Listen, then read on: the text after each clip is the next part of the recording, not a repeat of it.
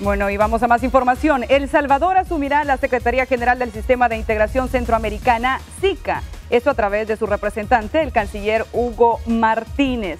El funcionario se mostró agradecido por su elección, asegurando que es un cargo que le dará la oportunidad de trabajar bajo el mandato de los Estados miembros de la integración.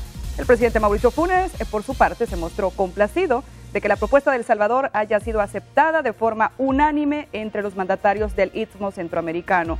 La presidencia pro tempore, también le cuento, la del SICA, pasará de Costa Rica a Panamá.